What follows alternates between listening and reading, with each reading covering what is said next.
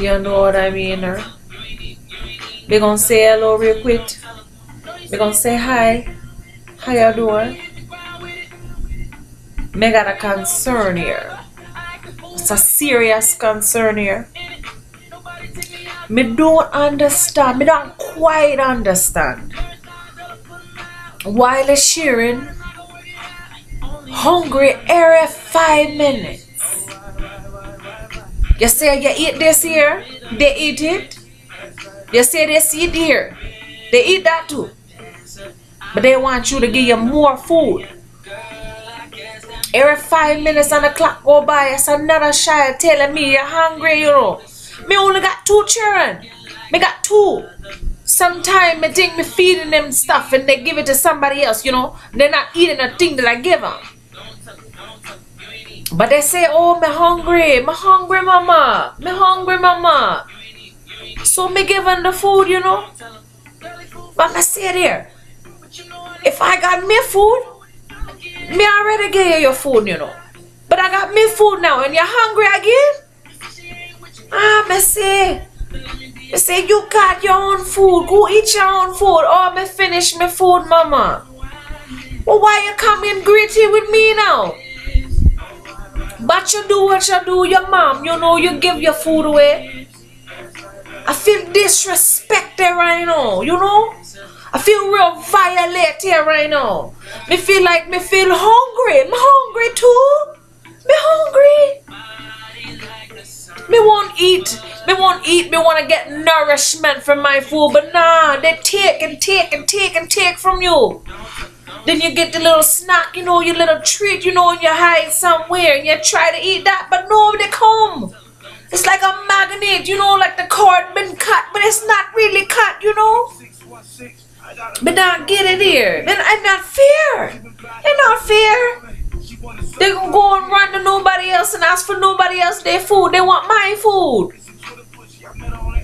You gotta understand, people. Make me hurt right now. Me sad about it. Me hungry. Me starving. I want to eat my own food. And it's the good food too, you know. They don't want to eat the other stuff food. They don't want the stuff I don't want to eat. No, they want to eat the stuff I want to eat. Me feel really, really sad right now, you know. We gonna start eating things they don't like to eat, so they won't want my food. But then I might get them to eat some food that they don't want to eat now. But me don't want to eat it though, you know.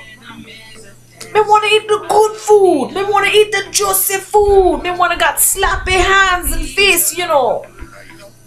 I sit and get food out my mouth, you know. Me not, me not have a chance to do it out here. Me not regret the cheering, you know, but I just say, you know, maybe I shouldn't have given them such a good appetite in the beginning. They wouldn't be so greedy now. I miss food. Me allergic to wheat too, so I can't have a sandwich. They eat sandwiches all day.